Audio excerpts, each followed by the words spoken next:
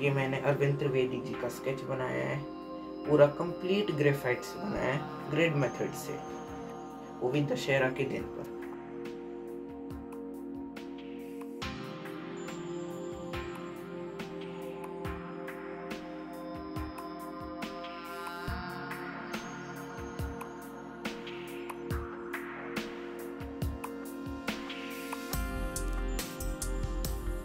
ये जो अरविंद त्रिवेदी जी हैं इन्होंने रामायण में बहुत ही अच्छा रावण का रोल निभाया बड़े अच्छे तरीके से।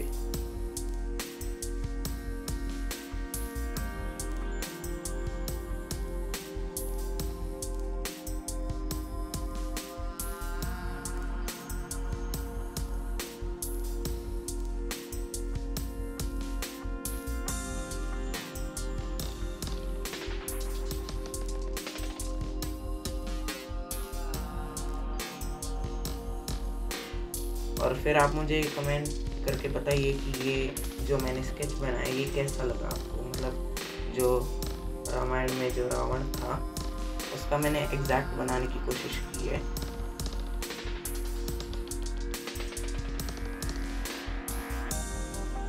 हर फेस्टिवल लाइक दिवाली, होली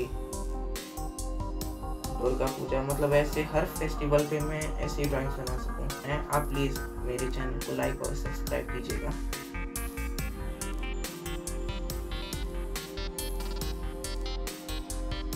और आप प्लीज़ मुझे सपोर्ट कीजिएगा। Thank you